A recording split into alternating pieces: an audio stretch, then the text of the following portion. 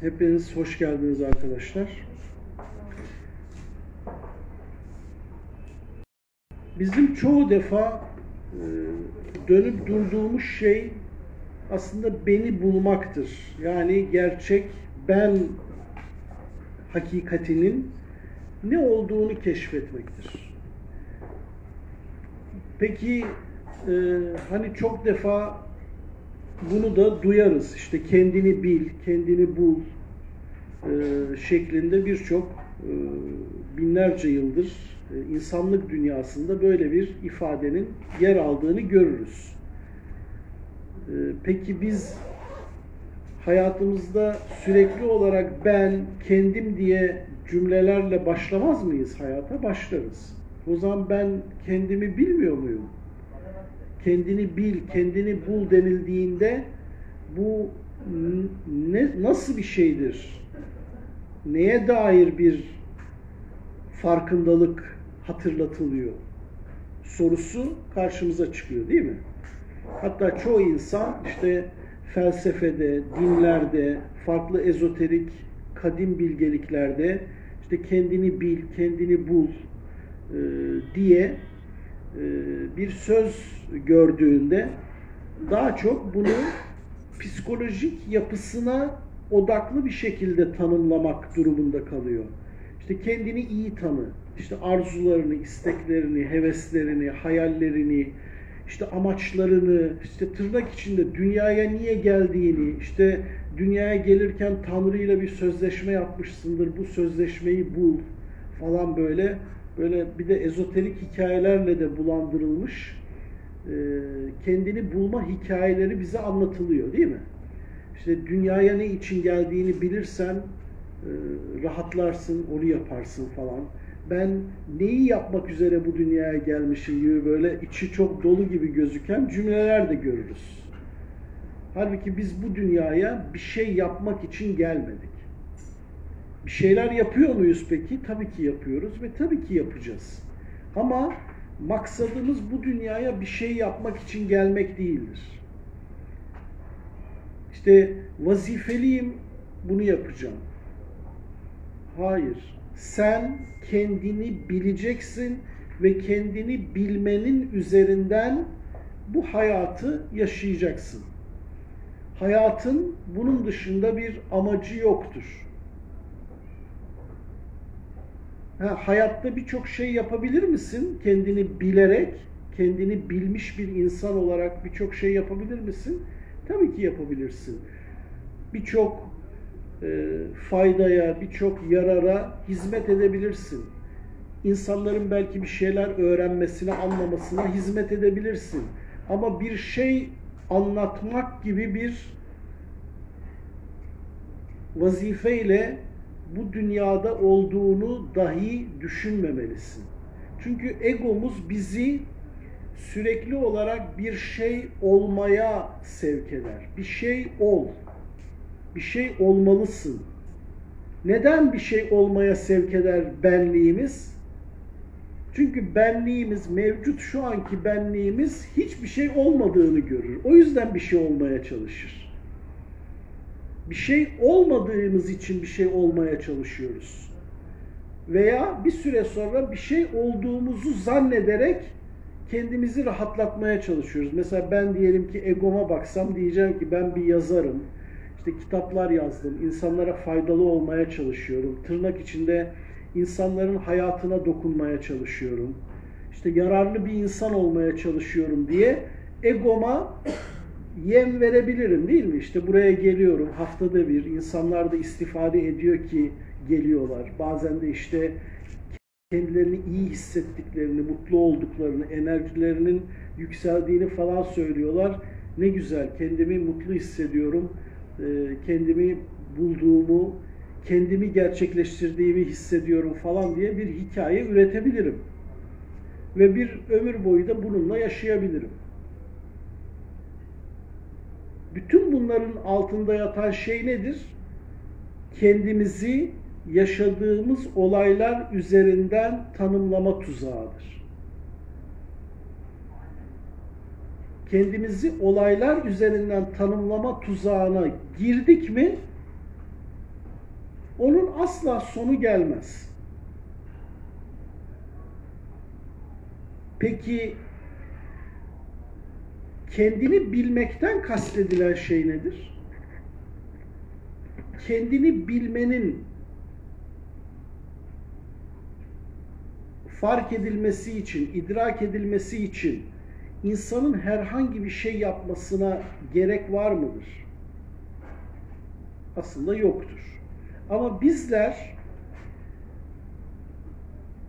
dünyaya geldiğimiz andan itibaren o gerçek kendimiz dediğimiz, ruhsal öz dediğimiz, ilahi e, ruh üfleyişi dediğimiz o hakikati unuturuz. Ve unutmaya başladığımız andan itibaren bu adım adım gerçekleşir. Ve gittikçe daha ilk 1-2 yaş içinde unuturuz ve bir boşluk oluşur. Ve bir süre sonra bizi algılayan insanların bize geri bildirimleri üzerinden belli bir yaşa geldiğimizde işte ne yapıyorsun? İşte bunu sen mi yaptın? Aa ne güzel yapmışsın. Evet aa bak ben bunu yaptım, güzel yapmışım. Demek ki ben iyiyim. Bunun üzerinden hikayeler üretmeye başlarız.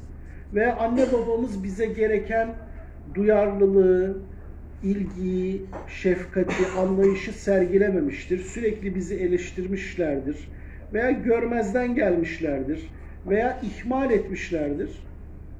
Onların üzerinden bir mizacımızla da bağlantılı bir şekilde bir kimlik oluşmaya başlar. Ergenlik yaşlarından itibaren de o daha katılaşmaya yüz tutar.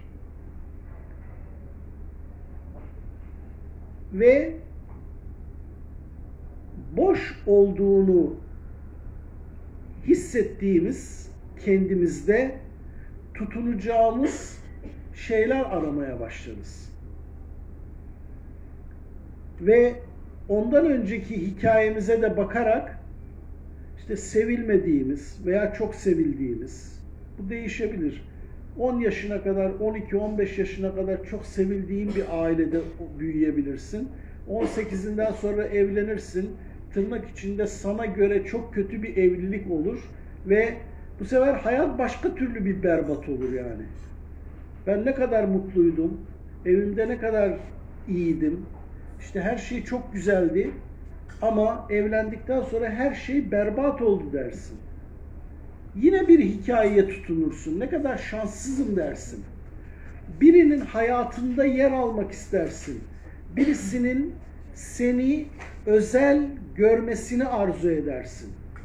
Birisinin hayatında yer almak üzerinden bir hikaye üretebilirsin. Neden? Çünkü gerçek kendiliği unutursun ve gerçek kendiliği unuttuğun için o unutmaktan gelen bir boşluk olur. Zihnin sana şunu sorar. Sen kimsin? Sürekli sen kimsin sorusu. Sen kimsin sorusunu sorarak kendinizi bulamazsınız ama arkadaşlar. Bunu hatırlatayım. Sen kimsin sorusunu sorarak neyi bulabilirsiniz? Ne olmadığınızı bulabilirsiniz. Sen kimsin? Birinin annesi, birinin çocuğu, birinin kardeşi, birinin arkadaşı, birinin dostu, şurada oturan, burada yaşayan, şunu yapan, bunu yapmayan, şöyle algılanan, şöyle sevilen veya şöyle nefret edilen, ilgi gören veya ilgi görmeyen,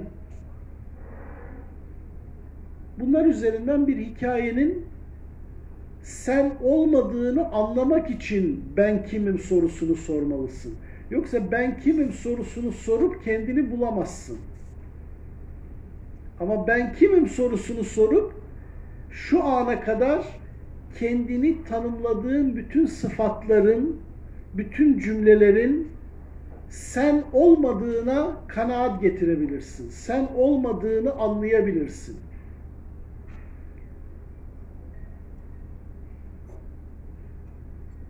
Buna biraz modern zamanlarda e, bağlamsal benlik diyorlar. Hoş bir deyim.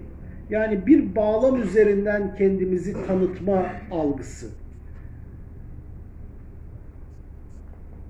İşte ben kimim? İşte falanın eşiyim, karısıyım, kocasıyım. Ben kimim? Falanın annesiyim. Ne oldu? İfade edilebilir, gösterilebilir, fark edilebilir bir kimliğin oluştu. Bu elle tutulur, gözle görülür bir şey. Tabii ki bu kimliklerin hoşa gideni var, hoşa gitmeyeni var. Değil mi? Hepsi hoşa gitmiyor değil. Anne olup çok mutlu olduğun zamanlar da vardır. Keşke anne olmasaydım dediğin zamanlar da vardır. Çocuğun yoktur. Keşke çocuğum olsa diye böyle büyük bir mahrumiyet duyarsın. Çocuğun olur. Sonra bir dersin ki ya olmasa mıydı, olmasaydı da o kadar fark etmezdi belki. Niye bu kadar çok istemişim ki çocuğu? İşte oldu ne oldu? Çünkü bir de ne vardır? O boş benlik algısının size anlattığı bir de sahte hikayeler vardır şurada şunu yaparsan, işte atıyorum üniversiteye girdin, akademik kariyer yaparsan, doçent olursan, bilmem ne olursan, işte birilerinin hayatında etkili olursan, birileri böyle sana çok önemli, önemliymiş gibi e, bakarsa, birisinin hayatında çok önemli bir yeri doldurduğunu hissedersen veya o sana böyle bir şey hissettirirse, iyi ki hayatında varsın falan der, derse, havalara uçarsın. Bunlar nedir? Hepsi hikayedir. Ama egomuz bize ne der o durumda? Ama hocam insan çok mutlu oluyor bu durumlarda. Kendini iyi hissediyor. İyi hisseder mi? Doğru iyi hissediyor. Ve ne yaparsınız? Bu sefer bana kendimi iyi hissettiren olaylar üzerinden kimliğimi inşa edip o bana kendimi iyi hissettirdiğini düşündüğüm şeyleri daha çok yaşamaya çalışırım. Diyelim birisiyle yaşıyorum. Çok güzel günlerim oldu. Bir ay, iki ay böyle ayaklarım yerden kesildi. Çok mutluyum. Bana çok ilgi gösteriyor.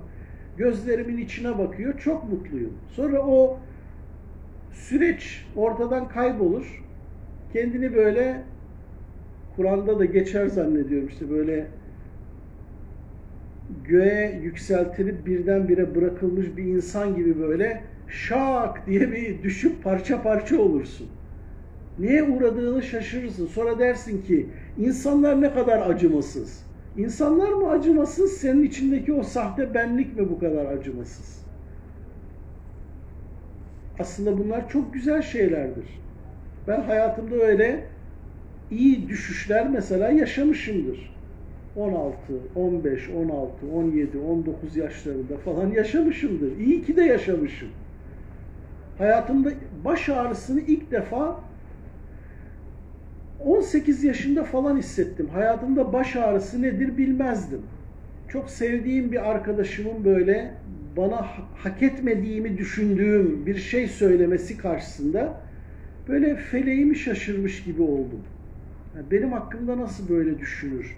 Biz o kadar samimi, yakınız, birbirimizi anlayan iki arkadaşız falan. İlk defa başım ağrıdı.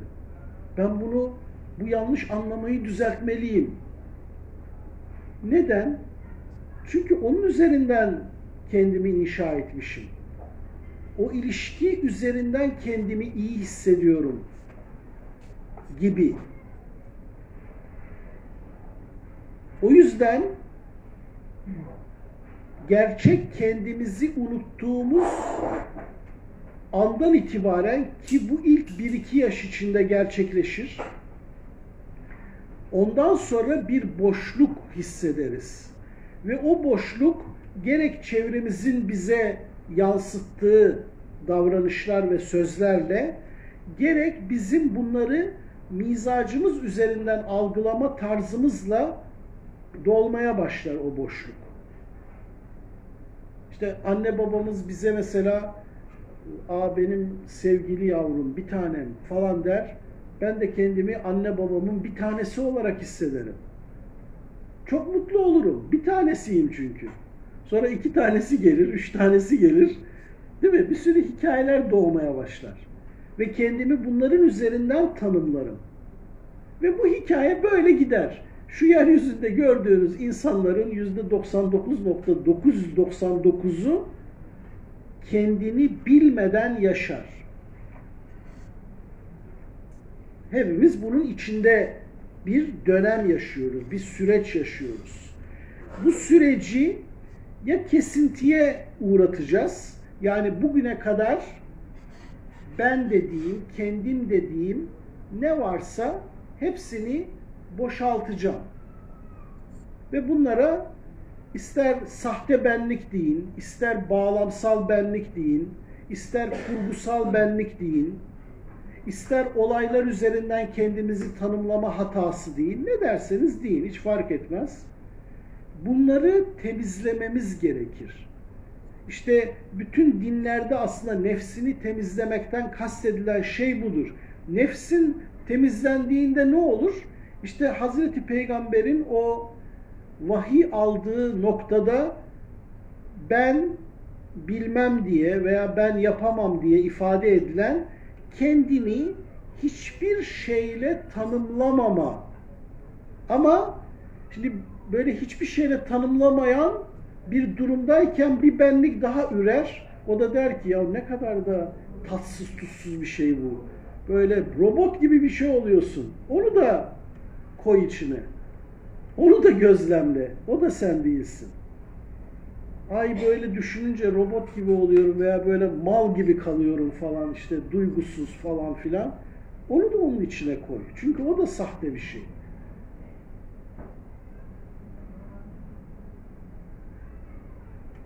Peki ben neyim o zaman diye tedirginleşen bir benlik gelir. Onu da onun yanına koy. Saf varlık halini hisset. Adı olmayan, tanımı olmayan, bir kelimeyle ifade edilmeyen ama bunu zihninle yapmaya çalışma. Onun için başta tekrar et. Tekrar söylediğim sözü yine hatırlatayım. Ben kimim sorusunu sorarak kendini bulamazsın. Ben kimim sorusunu sorarak kendin olmayan şeyleri bulabilirsin. Ben kimim? Anneyim, babayım, kardeşim, arkadaşım, ilim adamıyım, bilmem neyim. Bunlar değilim. Bunlarla kendini tanımlama. Kimsenin eşi, arkadaşı, dostu, annesi, babası, şuyu veya buyu değilsin. Ama dikkat edin dediğim gibi bu süreci yaşarken bazı benlikler sizi korkutmaya çalışır. Der ki böyle e, çoraklaşıyorsun. Şimdi ne diyeceksin kendine? Biri sana sen kimsin biraz kendini tanıtır mısın deyince ne diyeceksin? Ben hiç kimseyim mi diyeceksin? Ben hiçbir şeyim mi diyeceksin? Böyle tatsız tuzsuz bir şey gibi geliyor. Ha insanlar size sorar sorarsa ben Ahmet'im, İsmail'im, Ayşe'yim, Fatma'yım diyebilirsiniz. Önemli olan onunla özdeşleşmiyor olmanız. Bakın çocuklar bunu çok güzel yaparlar değil mi? Oyun bilinci içinde. Mesela oyun oynarken dersin ki sen nesin şimdi? O der ki ben anneyim. Ama bilir anne olmadığını veya ben babayım der değil mi? Ama bilir baba veya anne olmadığını. Ama bakın onu ciddi ciddi de oynar. Bunu hep söylüyorum. Oyun bilinci anlamlı bir bilinçtir. Ve böyle e, kestirip atacağımız basit bir şey değildir. Aslında o oyun bilinci nedir? Bak bir şeyi geçici olarak ediniyorsun ama gerçekte o sen değilsin. Oyun oynarken değil mi? Çocuk anne olur, baba olur, evcilik oynar, işte komutan olur, polis olur vesaire olur değil mi? Ama o bir oyundur ve onu bilir. Değil mi? Ben sizin, siz bana sorsanız mesela işte nerede doğdun, annen kim, baban kim, kaç kardeşsiniz ben size bunları söylerim değil mi? Ama ben bunlarla özdeş olarak mı söylüyorum?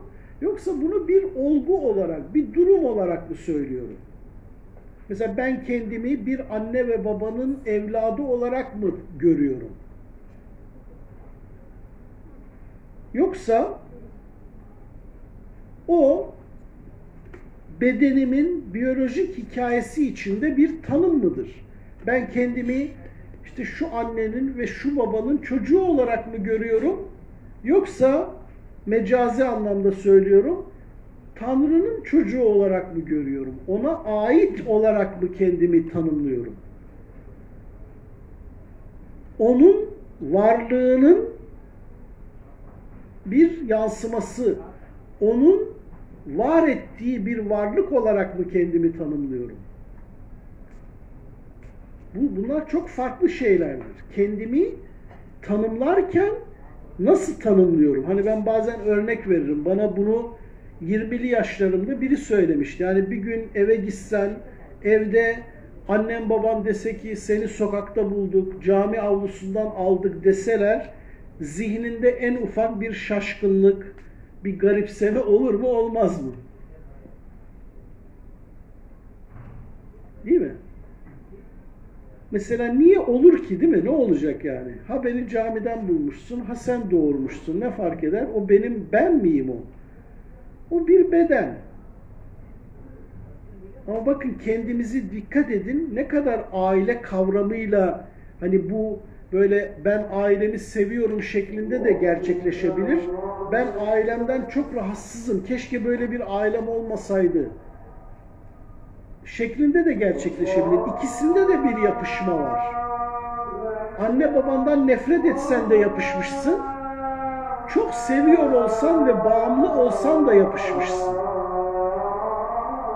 Bu anne babanı görmezden gelme, saygısız olma, yok sayma, dışlama anlamına gelmiyor. Onlar senin kullandığın bedeni bugüne gelmesi konusunda Allah'ın kendilerine verdiği imkanları tam veya yarım, kısmen veya eksiksiz kullanmış, kendi bilinç düzeylerine göre sana davranmış insanlar. Bu kadar basit yani. Ama özdeşleşen benliklere bir sorun bu kadar basit mi? Hiç o kadar basit değil. Ben 40-50 yaşına gelip de halen anne babasıyla didişen, psikolojik olarak didişen insanlar gördüm. Halen işte İsmail Bey bakın babam beni onaylamıyor. Babam sürekli bana hatalısın mesajı veriyor. Anne babamı bir türlü memnun edemedim. Ya memnun etmeni söyleyen kim veya memnun etmek zorunda sana e, böyle bir zorunluluk hissi veren ne? Bunu söylememiz anne babanı umursama anlamına mı geliyor? Hayır. Onlar birer insan. Mevcut bilinçleriyle, artılarıyla, eksileriyle, duyarlılıkları veya duyarsızlıklarıyla bir insan kendi bilinci çerçevesinde sana davranmış. İyi veya kötü. Bu kadar. Ama sen kendini onların üzerinden tanımlıyorsun. Kendini onların üzerinden tanımlamanın içine bir kere bir düşmüşsün ki hepimiz düşeriz buna bakın bunu unutmayın. Bir çocuk olarak hepimiz ilk muhatap olduğumuz anne babamızın bizi nasıl algıladığına dair bir benliğe sahip oluruz. Ama bunu bir ömür boyu devam ettirmen gerekir mi? Hayır. O yüzden kutsal metinler bize nefsini temizlemekten bahseder. Yani nefsini temizlemek kendini objektif, eksiksiz, tam ve mükemmel olan kendini yaşadığın olaylar, karşılaştığın insanlar, muhatap olduğun süreçler üzerinden tanımlayan sahte benliklerden temizleme anlamına gelir. Bütün o ben kendim dediğin işte annem beni çok severdi veya annem bana hiç bakmadı. Neyse hiç fark etmez. İster olumlu özdeşleşmeler olsun, ister olumsuz gibi görünen özdeşleşmeler olsun. Hepsi temizlenmen gereken şeylerdir. Kendini neyin üzerinden değerli veya değersiz görüyorsun? Bunlardan ayrışmalısın. Bu bakın dikkat edin söylediğimiz şey o zaman biz insanlardan uzaklaşalım. Herkes böyle bir dağ başına çekilsini kastetmiyoruz. Olaylar üzerinden özdeşleşmekten bahsediyoruz. Bir olayın üzerinden, karşılaştığımız bir şey üzerinden, yaşadığımız bir olay üzerinden kendimizi tanımlamaktan bahsediyoruz. Çünkü bunlar bizim gerçek kendimizin önünde bir engeldir.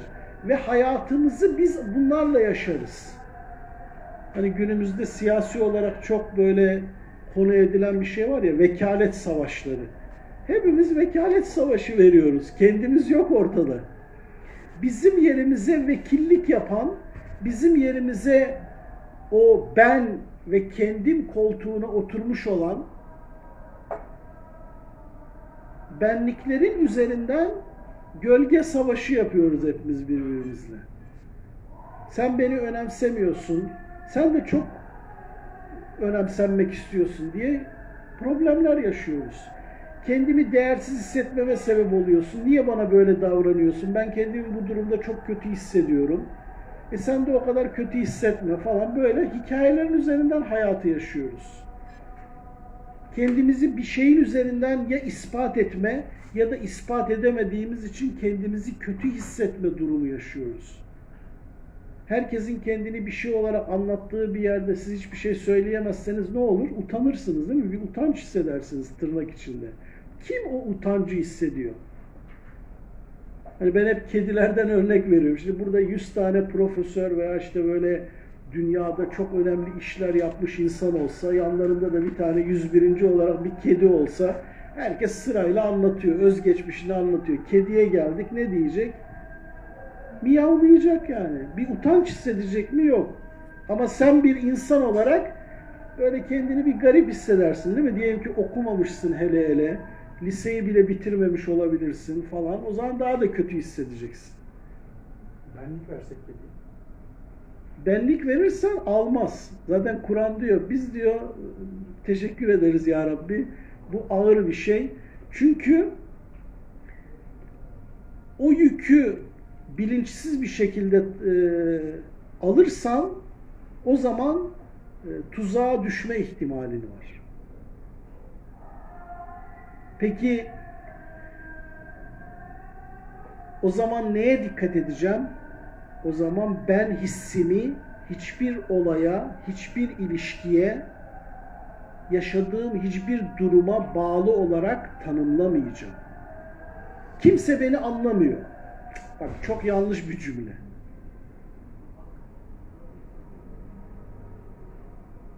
Anlaşılmama durumu tecrübe ediyorum. Bu kadar. Ama ben hiç kimse tarafından anlaşılmıyorum. Hiç kimse beni anlamıyor. Ne yaptın? Birilerinin seni anlayıp anlamaması üzerinden bir kimlik inşa ettin. E bu kimlik tatmin edici değilse ne yapacaksın? Tabii ki mutsuz olacaksın. Geçen böyle bir yerde ufak bir seminer verdim böyle gençlere, lise öğrencileri böyle mizaç e, testi de yaptık. Böyle birkaç tane tip 4 arkadaş vardı. Dedim anlaşılmak da bir deneyimdir, anlaşılmamak da bir deneyimdir. Oradaki tip 4 mizacında bir arkadaş dedi ki ama hocam dedi anlaşılmamak çok berbat bir şey, çok çok kötü bir şey falan. Yok dedim bak öyle bir şey değil. Ama o ilk anlaşılmama deneyimi üzerinden kendini çok kötü hissettiği için onun için artık anlaşılmamak çok kötü bir şey. Mesela benim için anlaşılmamak çok doğal bir şey. Biri beni anlamaz. Hatta anlaması bana hani aa bak anladı diye dediğim bir durum olur yani. Hani bu insanları anlayışsızlıkla suçlamak anlamında değil. Yani birbirimizi anlamamız gerçekten göründüğü kadar kolay değil arkadaşlar. O yüzden bir insan anladığı zaman aa ne kadar ilginç bir durum. Yoksa işte böyle bir insan beni anlasa o kadar mutlu olurdum ki falan dediğimiz bir durum değil. Yani anlıyor, bu ilginç bir durum. Anlamıyor, o da yaşanılası bir durum yani. Daha doğal ne olabilir? Ama kendini neyin üzerinden tanımlarsan onun üzerinden yaşarsın. O sana vekil olmuş olur. Biz şu an kendi hayatlarımızı tam olarak yaşamıyoruz. O benliklerin üzerinden bir hayatı yaşıyoruz.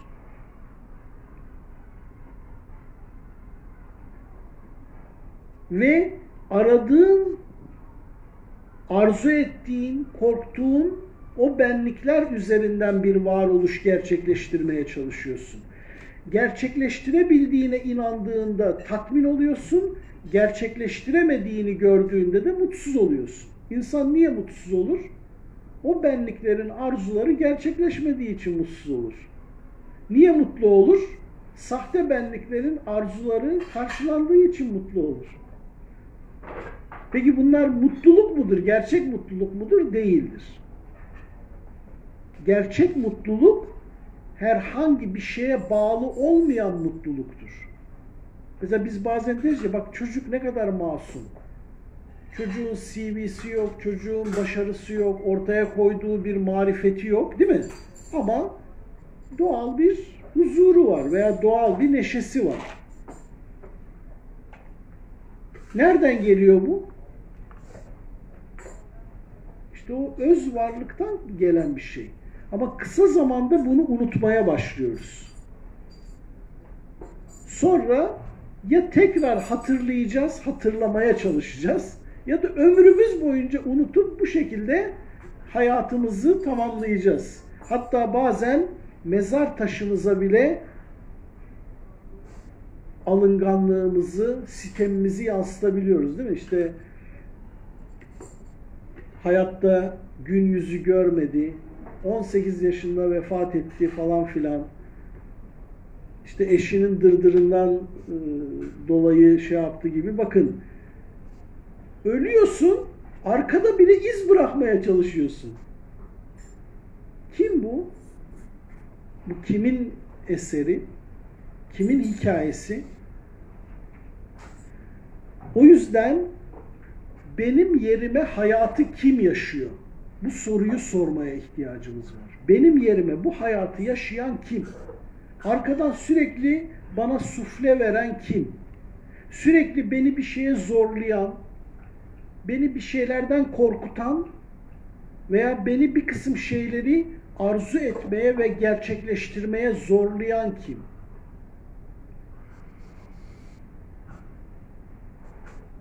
Bunu fark etmek durumundayım. Fark etmezsem ömür boyu ben o sahte benliklerin hikayesini yaşayacağım.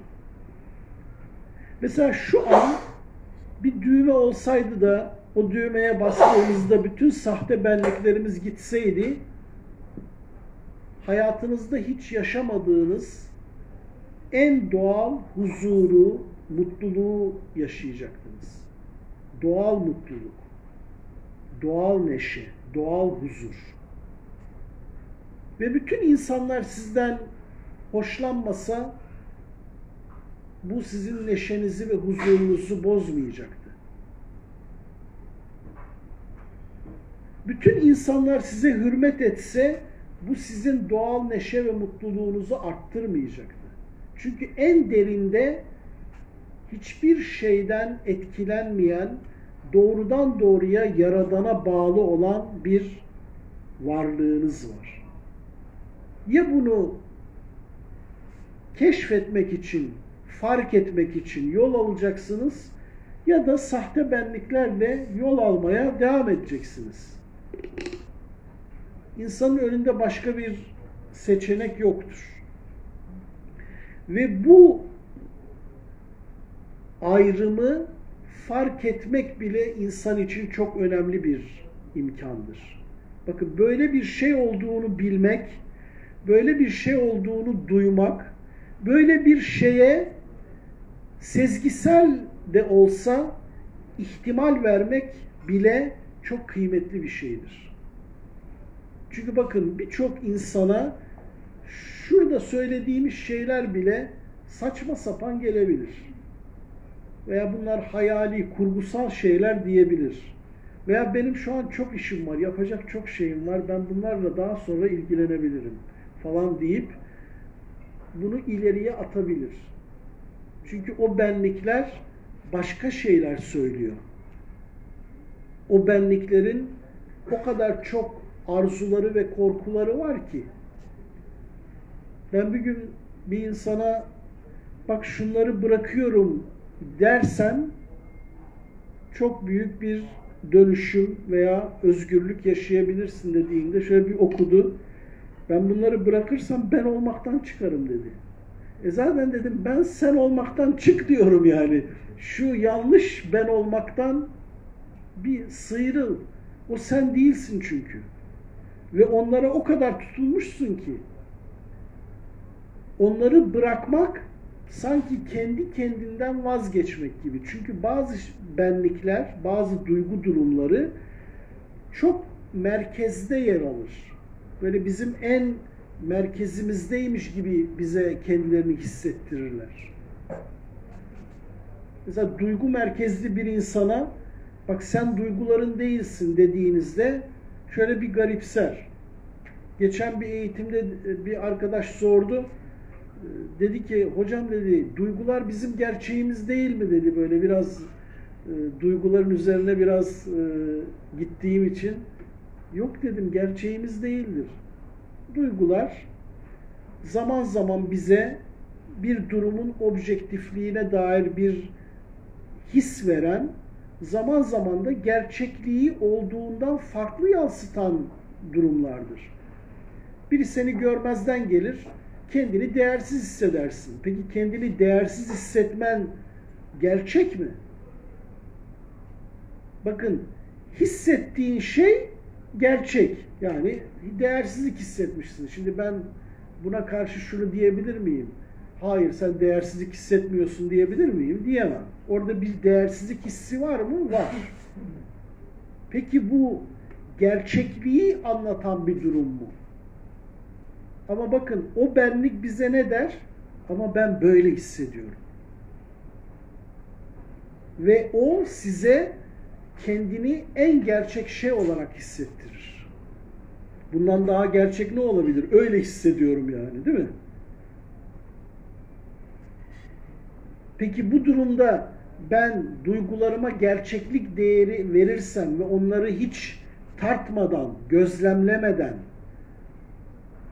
incelemeden kabul edersem ne olur? Duygu durumları bana ne derse öyle olurum.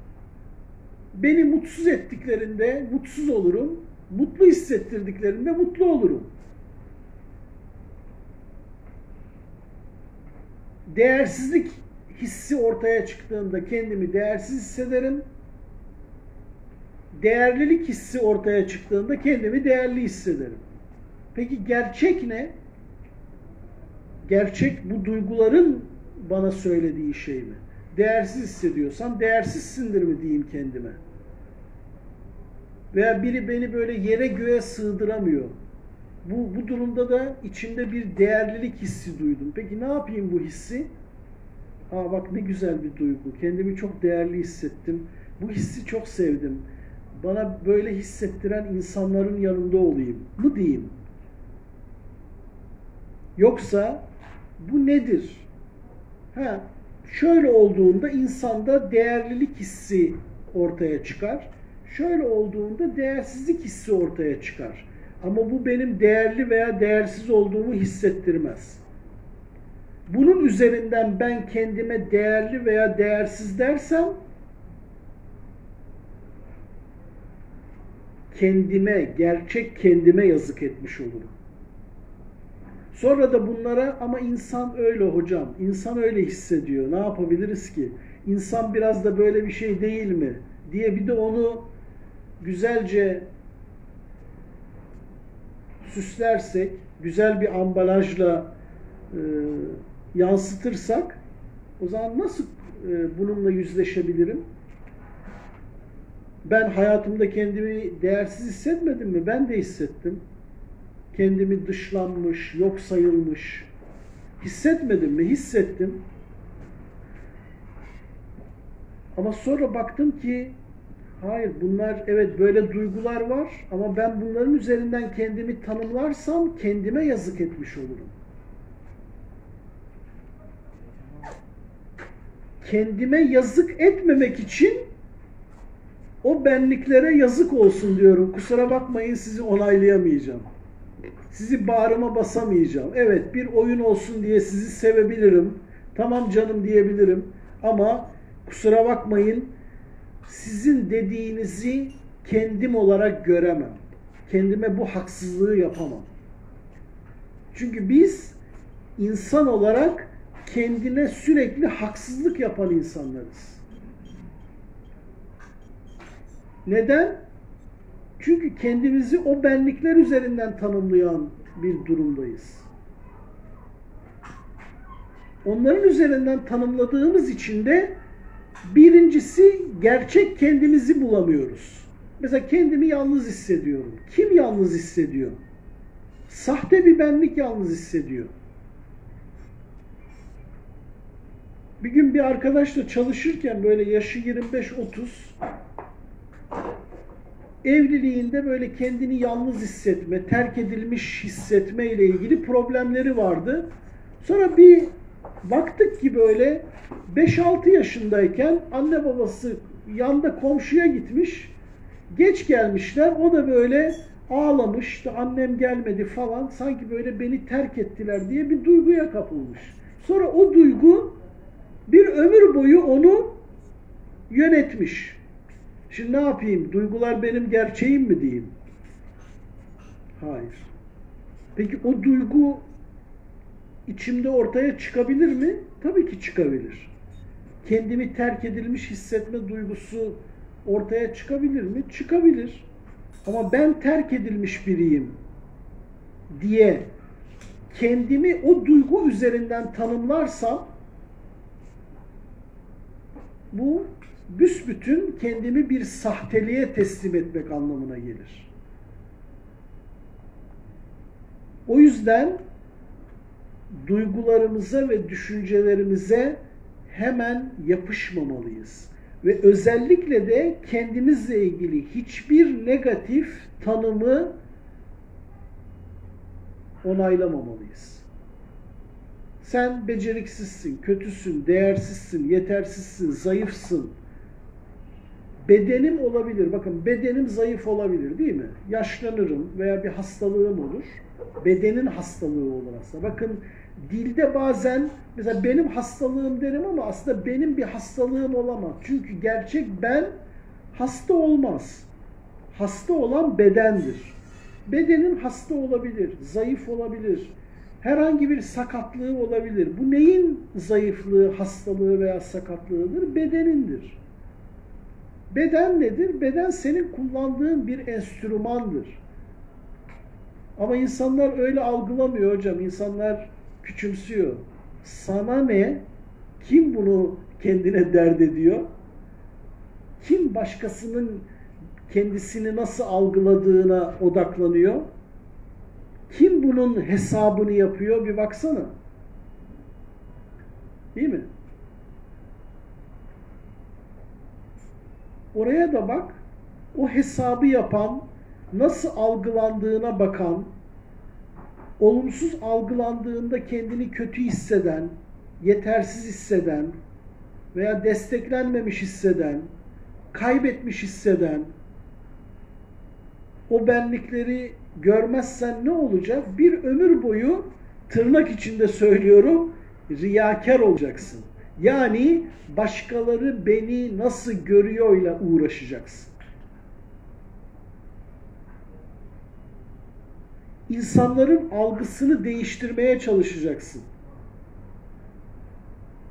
İnsanlar niye benim hakkımda böyle düşünüyorlar ama ben böyle değilim ki dert edineceksin. Sen böyle değilsen diyorum ki problem ne o zaman? Ben böyle değilim. E ne güzel. Çok şükür. Problem ne burada? Ama ben benim böyle olmadığımı eşim, annem, babam, arkadaşım görmüyor ki veya beni olduğumdan farklı algılıyor. Diyor ki ben anne veya babayım. Çocuğum da benden nefret ediyor. Ne yapayım? Bunu dert mi edeyim? İlla çocuğumun fikrini mi değiştireyim? Yok. Sen kendi anne babalığına uygun, doğru olduğuna inandığın şekilde davran. Çocuğun sana düşman da olabilir, dost da olabilir, umursamaz da olabilir, çok duyarlı da olabilir. O senin alanın mı? Değil. Ama bir ego var, bir benlik var. Çocuğuyla ilgili hesabı var onun, eşiyle ilgili hesabı var, arkadaşlarıyla ilgili hesabı var. Şurada otururken bile neler neler hesap edebilen tarafları var değil mi? Peki bu kadar yük, yükü bize kim yüklüyor? Kimin zahmetini bu kadar çekiyorum? Burada kastettiğimiz şeyi sakın yanlış anlamayın. Çünkü yanlış anlayan benlikleriniz mutlaka olacaktır. Buna da şaşırmayın. Bir benlik diyecektir ki o zaman hiç kimseyi umursamayayım. Kimin ne hali varsa görsün, canları cehenneme. Bunu kastetmiyoruz. İnsanların algısını dert edinen benlikten bahsediyoruz. İnsanların algısından dolayı kendini kötü hisseden benlikten bahsediyoruz. Biri beni yanlış anlayabilir. Bakarım onun yanlış anlayışını düzeltme imkanı var mı? Hani aramızda bir iletişim köprüsü var mı? Varsa onu kullanırım. Beni dinliyor, dinliyorsa. Yok dinlemiyorsa Allah yolunu açık etsin yani. Ne kızarım, ne alınırım, ne gücenirim. Ve bazı insanlar bana demiştir işte sen böylesin falan deyip istersen e, o konuyu anlatayım diyorum. Yok diyor ben her şeyi biliyorum. Tamam diyorum. Yani bir şey demiyorum. Beni bak dinlemiyor görüyor musun yani ne kadar şey insafsız bana haksızlık yapıyor. Yok. Yani kendisi benimle ilgili böyle düşünüyor. Böyle bir hisse kapılmış. Beni de dinlemek istemiyor. Sıkıntı var mı burada? Yok. Bir sıkıntı yok. Sıkıntıyı yapan kim? Bir benlik. Bana böyle diyemez. Ben bunu hak etmiyorum ama ben böyle değilim. Ama bir haksızlık var ortada. O haksızlığa karşı hiçbir şey e, yorumda bulunmamak çok böyle vurdum duymazlık gibi olmuyor mu? Biz burada vurdum duymazlıktan bahsetmiyoruz. Umurumda değil. Ne dersen deden bahsetmiyoruz. Bir, rahatsız olmamak. iki karşındaki beni dinlemediğinde bundan bir hikaye üretmemek. Bundan da rahatsız olmamaktan bahsediyoruz. Zaten Yoksa biri yanlış anlayabilir.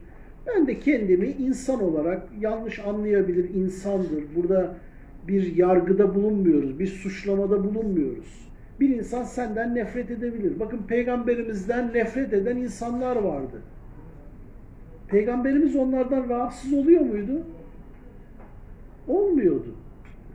Nefret eden birçok insan vardı. Daha sonra iman ettiler, peygamberimizi tanıdılar ve kanaatleri değişti. Peygamber onlardan rahatsız mıydı? Hayır değil. O onun süreci.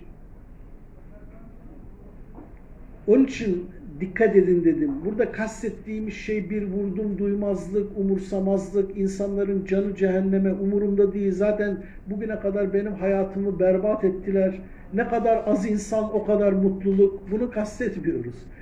Hazreti Muhammed'in insanlığa gösterdiği en önemli şey nedir dersek bunlardan bir tanesi hayatın içinde olarak ruhsal bilincini yaşayabilmenin örneği olmasıdır.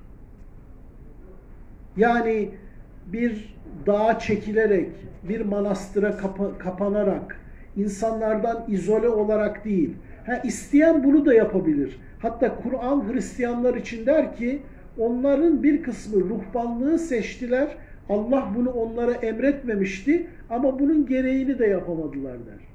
İsteyen o tür bir kenara çekilmeyi yapabilir.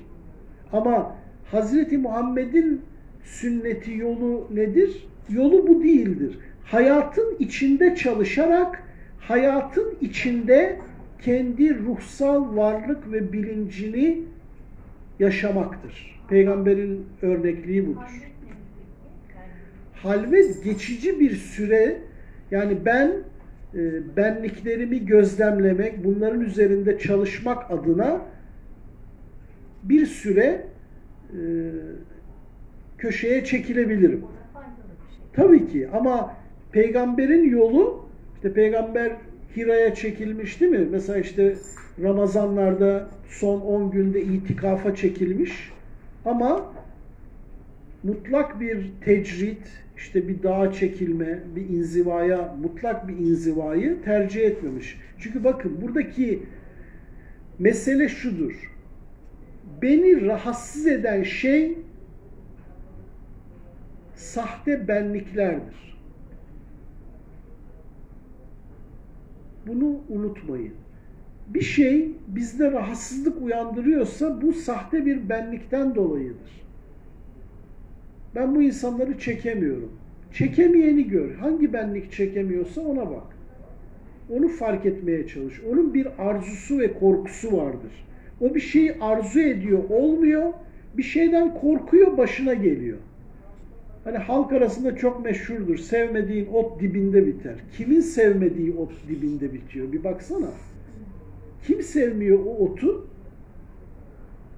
Bir benliğin sevmiyor. Onu bıraksan ot ot olarak görünecek. Bu hoş bir ot, bu kötü kokan veya dikenli bir ot diyeceksin. Ama o ot dibinde bitti diye rahatsız olmayacaksın. Ama sen istemiyorsun ya bir şeyi. Ve insanlar hep şey der. İşte Allah insanı sevmediği şeylerle veya sevdiği şeylerle imtihan ediyor. Ya Allah imtihan etmiyor. Benliklerin yüzünden imtihan olunuyorsun. Ve bu doğal senin hikayen aslında. Mesela ben insanların beni sevmesini istesem ne çok imtihanım olurdu bu dünyada. Çünkü sevenim var, sevmeyenim var, görmezden gelenim var, çok değer verenim var, vermeyenim var. O zaman ne olacak? Bazı insanlarla e, karşılaşmak, bazı insanlarla da karşılaşmamak isteyeceksin. O yüzden size hayatı kim berbat ediyor? İnsanlar değil. İnsanlar değil. O yüzden peygamber der ki insanların içinde olup da tırnak içinde insanların eziyetine katlanan inzivaya çekilenden daha muteberdir. Bu şey değil ama ya böyle insanların içinde kalayım da biraz böyle eziyet etsinler, sevap kazanayım falan değildir bu. İnsanların içinde ol ve seni neyin rahatsız ettiğini gör.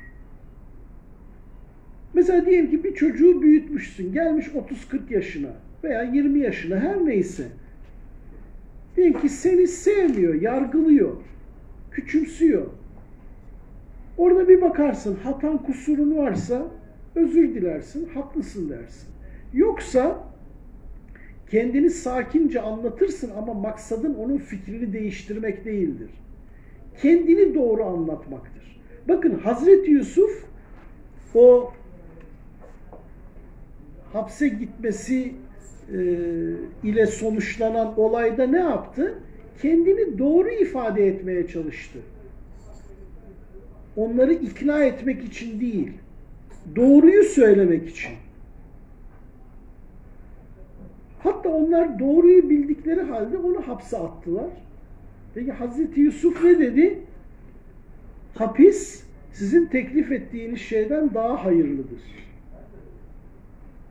Yani ben kendimi ifade ettim. Siz kendi çıkarınız, menfaatiniz, kendi siyasi saray entrikalarınız nedeniyle Beni suçlu göstermeyi arzu ettiniz. Bu, bu da sizin probleminiz. Benim problemim değil. Ha, ego size nereden saldırabilir? Ama bu haksızlık. Egonun güçlü bir damarıdır bu hak haksızlık kavramı.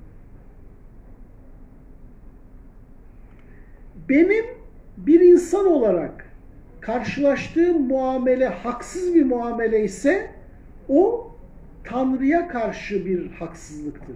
Benim orada kendimi ortaya koyup bana haksızlık yapamazsınız, nasıl bana haksızlık yaparsınız demem manasızdır. Orada hakkı, hukuku ifade ederim. Oradaki hak ve hukukun ne olması gerektiğine dair elimdeki imkanları kullanırım. Ama buna rağmen haksızlığa uğruyorsam o benim derdim değildir. Onu gidip Allah'a anlatsın. Benim problemim yok orada. Ben niye kendimi oraya soku veriyorum ki? Değil mi? Ama bana haksızlık yapılıyor. Ben bunu hak etmiyorum. E ne güzel Allah'a şükür iyi ki hak etmiyorsun. Derdin ne? Mesela evde çoluk çocuk var, iş yeri var. Atıyorum hapishanede belki işkence görecek falan. Olabilir. Yani e, bakın hayatta bir şey olmamalı diye başlarsanız başınıza bela alırsınız. Tamam mı? Yani bu olmamalı. Dediniz mi başınıza bela alırsınız. Çünkü olma ihtimali var. Mesela ben desem ki kimse beni yanlış anlamamalı. Beni olduğum gibi görmeli dersem başıma bela alırım. Neden?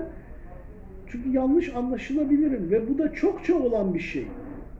Beni, ama beni kimse yanlış anlamasın, ben bundan çok rahatsız oluyorum dediğimde kendi başıma çuvalı kendi elimle geçirmiş oluyorum. Beni insanlar yanlış anlayabilirler. Ha, anlamalarını istemem ama olabilir. Ben kendimi mümkünse, şartlar varsa kendimi doğru anlatmaya çalışırım. E ama anlamıyor. Ya anlamıyorsa anlamıyor. Ama anlamalı hocam diyor. İşte bak onu diyene bak. Seni kim dürtüyor? Kim işte eşim, çocuğum, arkadaşım beni anlamalı?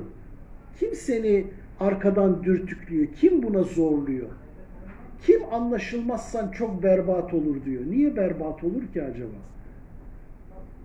Kim sana korku pompalıyor? Kim asla şunu yaşamak istemem diyor. Eğer bunları bulmazsanız başınıza bela bulmuş olur ve bununla da baş edemez bir durumda onlara mahkum bir şekilde yaşarsınız. Ve onların yükünü taşımak zorunda kalırsınız. Bir ömür boyu onların yükünü taşırsınız.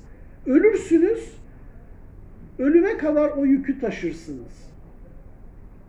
Çocuğum bana böyle dedi, böyle içime oturdu. Niye oturdu ki? Kimin içine oturduysa onu da al, o sözü de al, kenara koy. Ama karşındaki insanı yargılama, onu suçlama, ondan nefret etme. Bundan rahatsız olan benliği kenara koy. Kim bundan rahatsız oluyor ve niye rahatsız oluyor? Onu gözlemle. O sen değilsin. Onu kendin olarak algılama. E peki hocam onun yaptığı doğru mu? Ben doğru demedim bak. Sapla samanı ayırmak lazım derler ya. Biz bir şeyleri hep birbirine karıştırırız. Burada kastettiğimiz şey insanlar yanlış yapmaz, yanlış anlamaz, her zaman doğru konuşur. Bunu kastetmiyoruz. İnsanların yanlışlarından, hatalarından, haksız tutumlarından rahatsız olan kim? Sen üzerine düşeni yap, buna rağmen haksızlığa uğrayabilirsin. Bu da bir deneyimdir. Bu kadar basit. Ama ben böyle bir şey denemek istemiyorum. Sana mı soruyorlar niye neyi deneyip denemeyeceğini? Değil mi? Bu bir deneyim. Aklın başındaysa deneyimler arasında büyük fark görmezsin. Ama bir egon varsa bunu denemek istiyorum ama böyle bir deneyim istemiyorum. Mesela Allah insanı gördüğünden geri koymasın. E koyacağım diyor Allah. Sizi nefislerinizden, mallarınızdan, evlatlarınızdan, ticaretinizden, hoşunuza giden şeylerden yana eksilteceğim diyor. Sen Allah'a kafa mı tutuyorsun, kafa mı buluyorsun, kendi kendini mi kandırıyorsun? Bak ne güzel gençtin, yaşlandın, güzeldin, güzelliğin gitti. Yakışıklıydın, gidiyor. Bak eksiltiliyorsun. Allah insanı gördüğünden alıkoymasın. Koyuyor. Değil mi? Belki şu duayı edebilirsin. Ya Rabbi bana ne yaşatırsan yaşat, nelerle karşılaşmama izin verirsen ver, onlarla karşılaştığımda gerçek anlamda kendimde olmayı ve senin benle olduğunu bana göster ve idrak ettir. Yoksa ben aman şu olay olsun bu olay olmasın, aman şu başıma gelmesin dersem arzu ve korku tarafından bir gerilim hattında yaşarım. Arzu ettiğim bir şey olur, süper sevinirim. Sonra olmaz, çökü veririm. Ya bu görünen zulme karşı olmak çoğunlukla ego üzerinden mi oluyor? Yani böyle bir genelleme söylemiyoruz. Sadece diyoruz ki Bir adaletsizliğe karşı ben mücadele veriyorum. Mücadele mücadele veren egon olabilir, fıtri kendiliğin olabilir. Yani işte o bizde söylenir ya işte ihlasla yapmak. Yani ben işte kimse bana haksızlık yapamaz. Mesela böyle mücadele ediyorsam ben nefsim adına zulümle mücadele ediyorum demektir.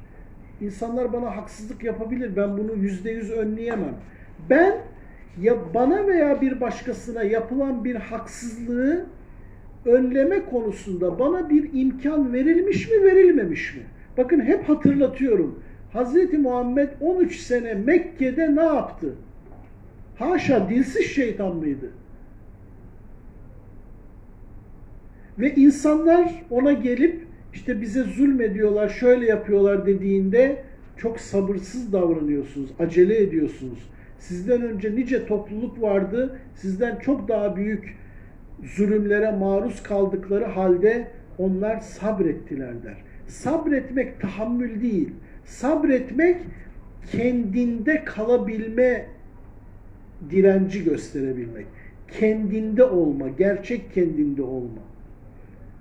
Gerçek kendindelik bilincini muhafaza etmek sabırdır. 13 sene ne yaptı Hazreti Muhammed? Veya biz mesela hicret etti. Kaçtı mı diyoruz? Evet zahiren tabii ki kaçtı. Ama o nedir? Kendisine karşı bir öldürme, bir suikast e, kararına karşı yapabileceği şey neydi? Uzaklaşmaktı ve uzaklaştı. Bu kadar. Ha, uzaklaşamayıp öldürülebilirdi. Ben hep, hep hatırlattığım bir şey vardır. Ve bu çok önemli bir e, noktadır aslında hepimiz için. Peygamber hicret ettiğinde yine bir mağaraya veya işte her neyse bir e, kayalığın içine e, saklandığında işte meşhur hikaye anlatılır. İşte örümcek geldi, güvercin geldi falan. İşte onu onun peşine düşen insanlar onu görmedi. Ve orada Hazreti Ebu Bekir'le beraberdi. Hazreti Ebu Bekir bizi yakalarlar ve peygamberi de öldürürler diye korktu. Ayet ona hüzünlenme Allah bizimledir dedi. Hüzünlen bu ne demek? Allah bizimledir demeyi biz yanlış yorumluyoruz. Allah bizimledir yani onlar bizi görmeyecekler. Merak etme Allah bizimle. Hayır, öyle bir şey yok. Hüzünlenme Allah bizimledir diyor. Yani Allah bizimle, sen de onunla mısın? Yoksa korkunla mı berabersin? Öldürülme, düşmanlar tarafından bulunma korkusuyla mı berabersin? Hangi benlikle berabersin? O benlikle mi berabersin? Yoksa Allah'la mı berabersin? Biz Allah'la yani Allah'ın bizimle olduğunu şeyle karıştırıyoruz. Tırnak içinde Allah bizim tarafımızda ve bizim tarafımızda düşmanlarımıza karşı mücadele ediyor diye algılıyoruz. Allah bir taraf değildir. Yani işte şu anlamda bir taraf değildir. Yani işte müminlerin yanında mücadele eden bir varlık değildir. Allah bu dünyayı bir imkan olarak yaratmış ve herkese tercih etme imkanı tanımış. İnsanlar sana zulmedebilir. Hazreti Zekeriya'yı öldürdüler. Birçok peygamber öldürüldü. Allah onların yanında değil miydi? Bakın bizim o egosal benliğimiz Allah bizimle nasıl algılıyor? Allah bizimle biz kazanacağız. Onları mahvedeceğiz. Çünkü Allah bizimle. E, yeniliyorsun. Bazı peygamberler zahiren yenilmemiş mi? Öldürülmemiş mi? Allah onlarla değil miydi? Allah benimle ne demek? Ama bir ego arkadan böyle bir gelir der ki bak sen iyi bir insan olmak olmaya çalışıyorsun, dürüst oluyorsun, sen kaybediyorsun, yalancılar, üçkağıtçılar, zalimler kazanıyor. Dikkat edin bu benliklere. Kazanç ve kayıp kim tarafından tanımlanıyor? Hazreti Yusuf kayıp mı etti hapse atılmakla? Hazreti Zekeriya öldürülmekle kayıp mı yaşadı? Hazreti Muhammed o hicret ederken sığındığı mağarada bulunup öldürülmüş olsaydı kaybetmiş mi olacaktı? O yüzden o ayet çok önemlidir. Allah bizimle, Allah seninle. Ama sen kiminlesin? Problem orada. Allah hepimizle. Ama sen kiminlesin? Sen şu anda ne hangi benlikle birliktesin? Hangi arzuyu veya hangi korkuyu duyan benlikle berabersin?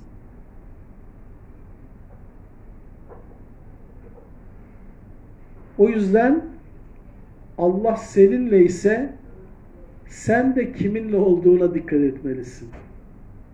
Hangi benliklerle veya sen de Allah'la birlikte misin? Hocam aslında bütün dualarımız egoların ürünü. Birçoğu doğal olarak öyle. Ama şimdi Allah sonsuz merhamet sahibidir. Dolayısıyla merhametinden dolayı egolarımızın dualarına da cevap verir. Ama mutlaka kabul etmez tabii ki. Çünkü Allah sonsuz merhametiyle her bilinç düzeyine bir rahmetle e, muamele eder. Ama tabii ki hepsini kabul etmez. O yüzden insanın ettiği duanın da bilinciyle bir ilişkisi var tabii ki doğal olarak. Evet teşekkür ederim.